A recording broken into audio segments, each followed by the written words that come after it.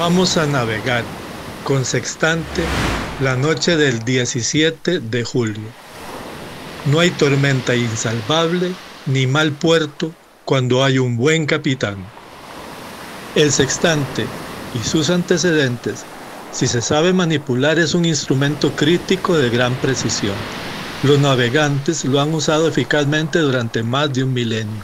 Con él, ya sea de día o de noche, han sabido cómo mantenerse en la ruta, aprovechando atajos o rodeando tormentas, conectando siempre los anhelos del hombre con el cosmos. AICA Costa Rica, el capítulo local de la Asociación Internacional de Críticos de Arte, se ha comprometido no solamente en divulgar, sino en documentar el desarrollo de los oficios y profesiones vinculados con ella de manera que ha aprovechado el acceso a los multimedios telemáticos y por llenar un vacío existente, ha ensamblado una revista dedicada al arte y la crítica de nuestra nación y de la región centroamericana, a la que se ha nombrado Sextante.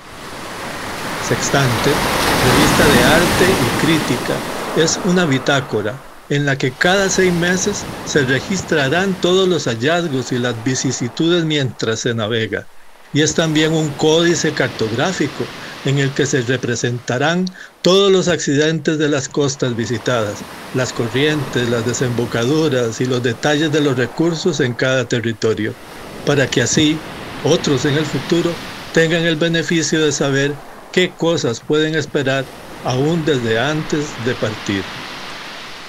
Sextante cuenta con un puerto virtual desde el cual podrán abordar libremente quienes lo tengan a bien.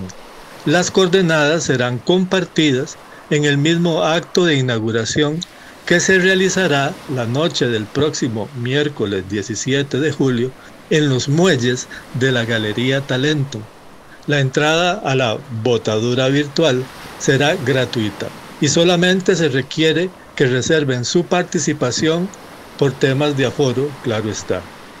En este mismo acto celebrativo se compartirá un recuerdo impreso con el código QR para el acceso a la revista digital Sextante. Ahoy, buena luna y vientos favorables. Nos vemos en Talento, no se pierda y lleve su sextante.